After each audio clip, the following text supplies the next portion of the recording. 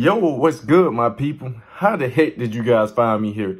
Today, we're currently in the office. I just wanted to let you guys know something real quick. The last video was kind of like a part one. I have a part two for this video. I know I said that there were three different lures you shouldn't leave the house without, but I only caught fish on two of those lures in the first video. I have more footage of chatterbait fishing. I just didn't have enough room to fit it all into one entire video. So this video is going to be strictly for chatterbait fishing. Hope you guys enjoy it. We're going to get straight to the action. And I'm going to share a few of the same tips from the last video just so newcomers can come and catch up. And with that being said, man, subscribe to the channel. You come here to learn all of your best fishing practices, and we're going to catch more fish all around the world. So let's get to it.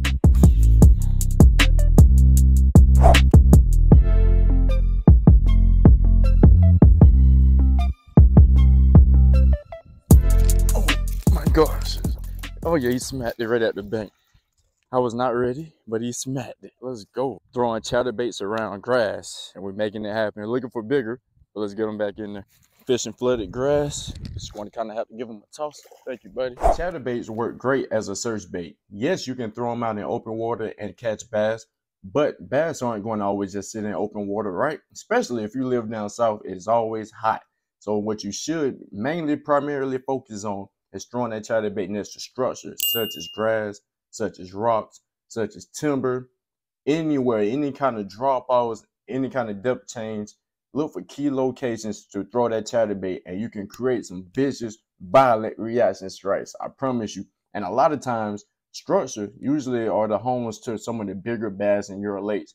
Bigger bass are lethargic. They don't like to use a lot of energy. That's why they get big so fast, much faster than the other fish in the pond. They just like to sit, wait, and ambush. They're smart hunters. And trust me, you can really pull out some vicious ones.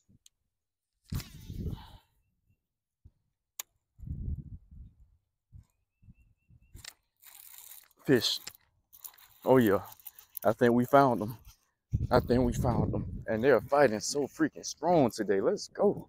Let's go. Oh, I think he just threw my trailer. He just threw my trailer.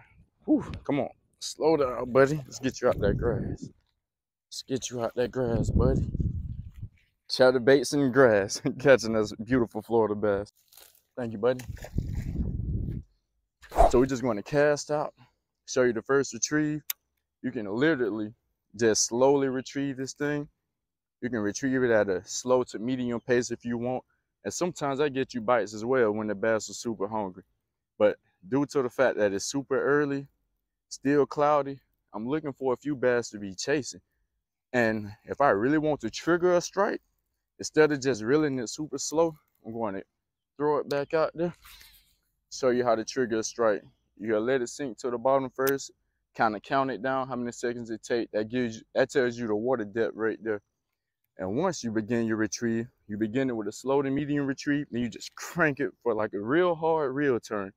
You turn it super slow, and you just crank it super fast in that split second. Sometimes a split second gives a bass one last chance to react before that bait gets away. Bass are opportunists. When they see an easy meal, they're going to crush it. I'm telling you. So that's definitely another way to crank them out. You just got to kind of play around with it every three to four turn, every three to four turns of the reel handle. That's when you just kind of crank it up real fast and it gives you that great reaction strike. Yep, it's raining, it's storming, but we out here and we're getting it, getting active. Let's go. Casting right next to these trees. Have some flooded grass down there also. Prime time for a bass to be hanging out. Water's actually a bit clear.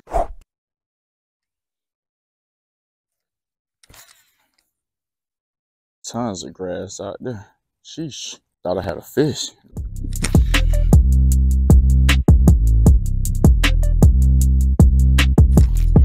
Fish, fish, fish. Let's go. Let's go.